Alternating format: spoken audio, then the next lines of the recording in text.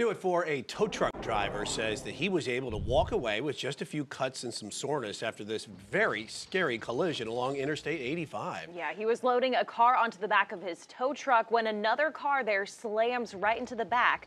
Today, the driver told us this is the closest call he's ever had, but he says what happened isn't actually out of the ordinary. Queen City News anchor Derek Dellinger is live near where that crash happened along Interstate 85 in University. And Derek, does the tow truck driver or the company here blame who they blame for the crash?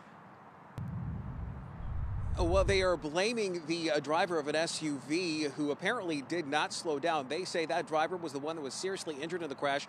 We are still working to get an update on their condition, but the crash you saw just a moment there, um, just a moment ago, and we do have a look at some of the after effects, some of the damage afterwards. Now, the tow truck company that was out on the road at the time, Catton's Towing, they actually showed us the car that they were trying to get off the interstate at the time. It was a pickup that only had a flat tire.